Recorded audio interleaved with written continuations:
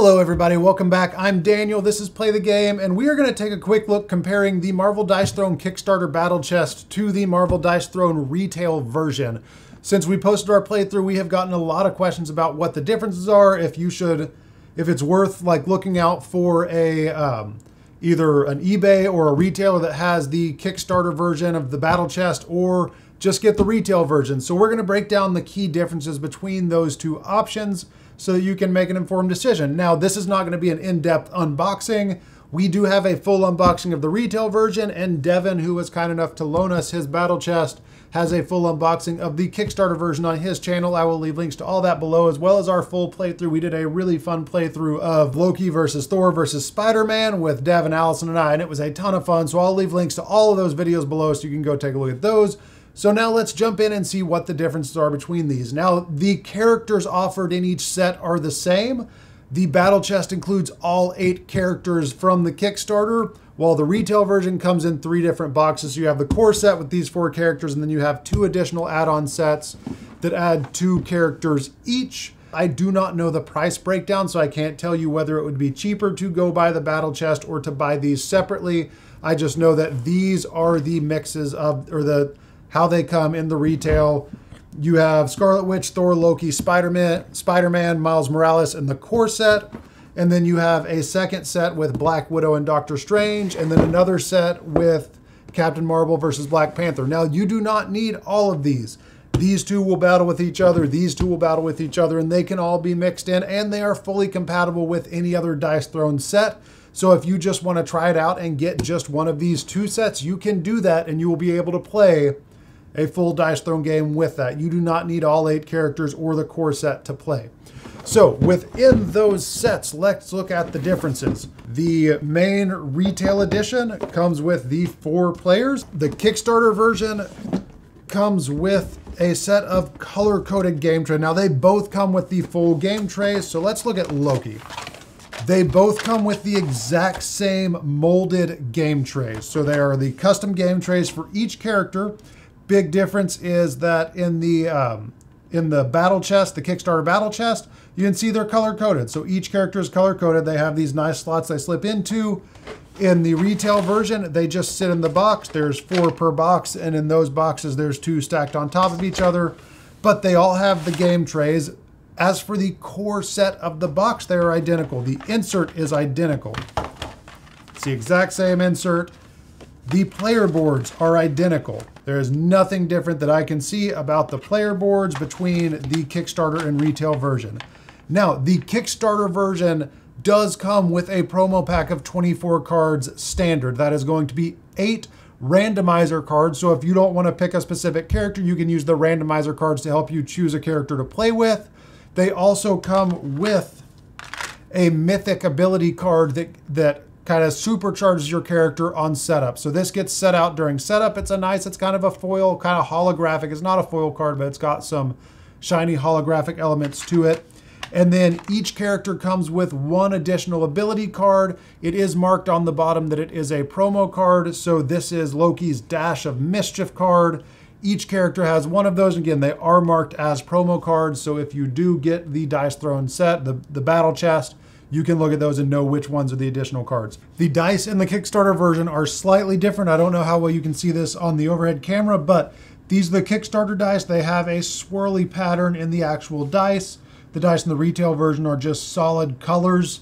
The symbols, the imprints, the colors of the symbols are all the same, but the Kickstarter dice do have this swirly pattern in the dice themselves. Other than that, the full deck, the health counters, the tokens are exactly the same. The Kickstarter version has cardboard tokens. They're not special kind of enamel tokens or anything like that. They are cardboard tokens, cardboard health counters. They are identical. So you can see this is the um, the combat point counters, identical. The health counters, exactly the same.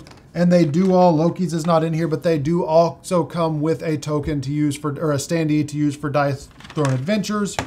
Now, the card sleeves do not come standard with the Kickstarter set, but both trays do have room for sleeved cards. They have two spots for cards, so you can fit sleeved cards in both trays. The card sleeves are available as an add-on, so you can get the custom card sleeves, but if you just want to sleeve your cards separately, there is room in the retail set for sleeved cards. Now, one other thing is Loki's illusion cards do come in a, it says they're a synthetic card. So they're a little sturdier. They're not paper cards. These are not cards that you draw. These are cards you use when you activate Loki's illusion ability. So it doesn't matter that they're a different material as for like being able to feel them in the deck because they're not shuffled in the deck. Uh, the regular version does come with three standard, they're like a linen finish card. So it's the standard cards. The Kickstarter comes with these, these kind of heftier synthetic cards. Those are the main differences in the actual content. So you have your randomizer cards, you have your additional ability for each character, and then you have your uh, your mythic ability for each character. Everything else appears to be the same between each cards. The player boards, the um, the player leaflets, all of that are the same, regardless of whether you are playing the Kickstarter or the retail version of the game. Now, the battle chest obviously includes everything in one box. They fit in here nicely. They have the little slots for them, and it does have this nice, I don't know how well you can see this, but it has a nice hard plastic insert that goes in that is going to take the strain off of the box and probably make the box itself last longer. They all fit in nicely. It's, it's a nice setup, and I do like the plastic, but that is exclusive to the Kickstarter.